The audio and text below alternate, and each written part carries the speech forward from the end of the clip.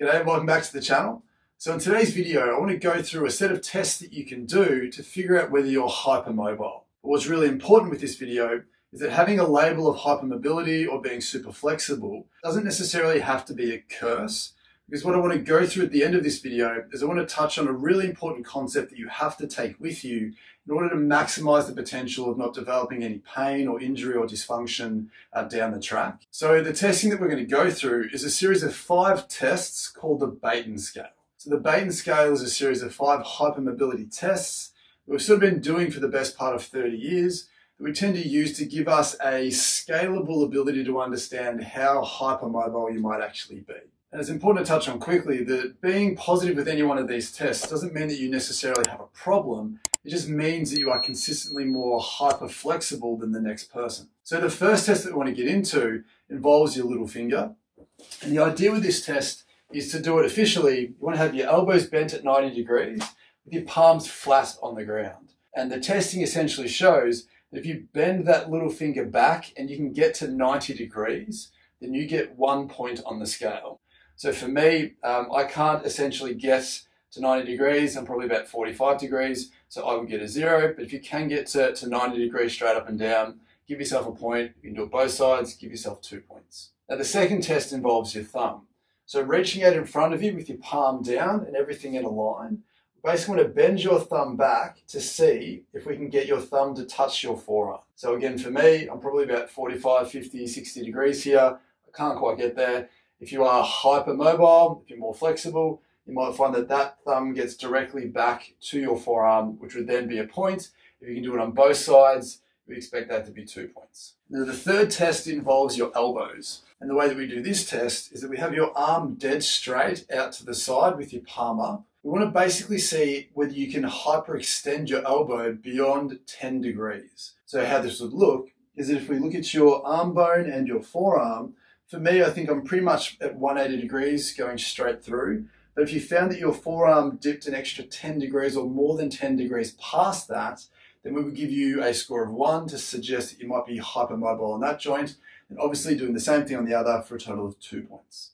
And then the fourth test in the Beighton scale revolves your knees. So we need you to stand up. And essentially with this one, what we're looking for is we're looking to see how much hyperextension you have in your lower legs. So again, looking at me from the side, uh, I might be hyperextending a little bit, but the idea is that from your femur, your thigh bone, straight down the side of your shin, do you see an extra 10 degrees or more of knee extension where the knee sort of wants to flick back further, creating that extra degree.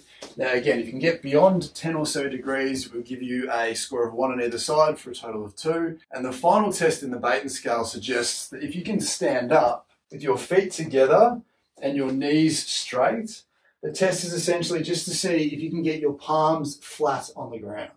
So for me, I can get my palms flat on the ground, but as you can see with the rest of the testing, uh, I don't necessarily uh, pick up any positivity in any of the tests. So for me, I've probably got maybe a one out of nine. And with this scoring on the Beighton scale, all of the research suggests that anything between zero to three on the scale is considered relatively normal, whatever that is. If you can get sort of four and above, obviously the closer you get to nine, the more hyper flexible we would expect you to be. And I'd be interested to know if you let me know down in the comments below what you got out of nine and whether that correlates or resonates with you in terms of how flexible you feel you might be. But following on from this, if you're someone who has got four, five, six, seven, eight, nine out of nine on the Beighton scale, or you've been given that label of hypermobility, it's really important to understand one simple thing. It automatically doesn't necessarily mean that you are going to have pain, damage, or injury down the track. But what it does absolutely mean is you must develop some muscular control and strength of that hypermobility. So the number one tip you've got to take away from this video is that being hyperflexible can in a lot of ways be considered a superpower where your ability to get into certain positions or express movement in a certain way is potentially far superior than most other people. But if you don't have control of that range and stability at your joints through that range, then you may then be at more risk of developing some joint issues or some tissue dysfunction or something like that down, down the track. And what that basically looks like is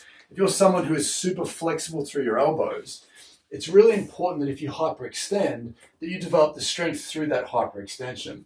So if you're doing a push-up and you can find that you come all the way through further than most people, it's important that when you do a push up that you take it through that range to its completion wherever that might be for you. And I think one of the stigmas associated with being able to hyperextend your knees or hyperextend your elbows is that if you consistently do that, that it's bad for your joints. And it's hard to say whether it is or it isn't, but what I can say is that if you have normal joint mobility and you consistently hyper flex or hyperextend that tissue, then there's potential to sort of damage or injure that joint. But if you're someone who has that natural range to work with, it's really important you explore that range with resistance or strength or muscular control exercises so your brain feels very safe and very comfortable moving into that range of motion. Because when you're not paying attention and you're not thinking about what you're doing, your body will move into the range that it has available to it. So it's really important that you can develop that control and that strength in the extreme ends of that range for yourself to protect the joint